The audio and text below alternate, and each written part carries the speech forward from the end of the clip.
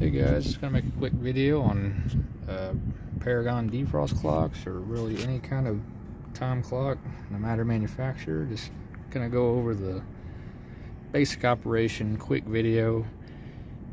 If you're new to the industry or maybe you've done HVAC and you're just getting into refrigeration, um, these can kind of intimidate guys. Uh, I mean, they've intimidated me in the past, but if you really look at it, it's a very simple mechanism.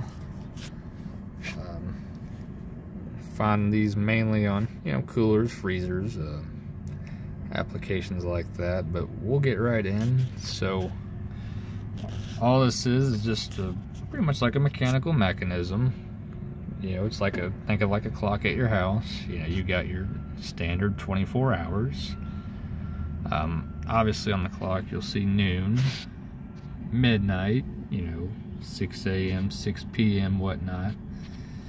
And your time uh, button on the corner, that will read your current time. Uh, and if you know your clock, if your clock's working, then you, it'll constantly be moving. You know, as you're on a site, you'll see the time change. You know, on the clock as the time and the day changes these you'll have you know your defrost points which are these screws right here that you install you know whatever time you want. Obviously on this application we'll we want defrost every six hours at noon 6 p.m 6 a.m midnight. And but these screws you can you know put wherever you want. And then in the middle here we'll have our copper arrow on 40 that's just minutes duration of your defrost so about 40 minutes which that's changeable as well but on this application we want 40 minutes. Um, obviously you can speed up your process you know by moving this dial which we're not going to mess with that right now because we're testing a system. Um, then kind of wiring uh, really just have you know your line coming in your neutral. Obviously this is a 208 clock so and we're in defrost right now so you know we're closed.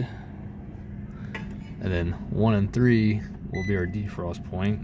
We're closed on that. Four will be our refrigeration so one and four we should be open showing 208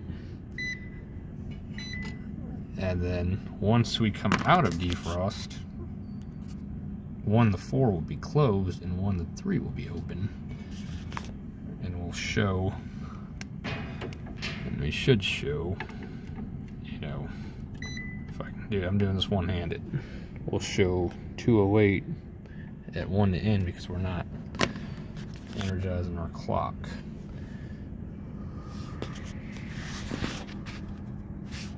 But uh, just a basic operation how a clock works. Thanks for watching.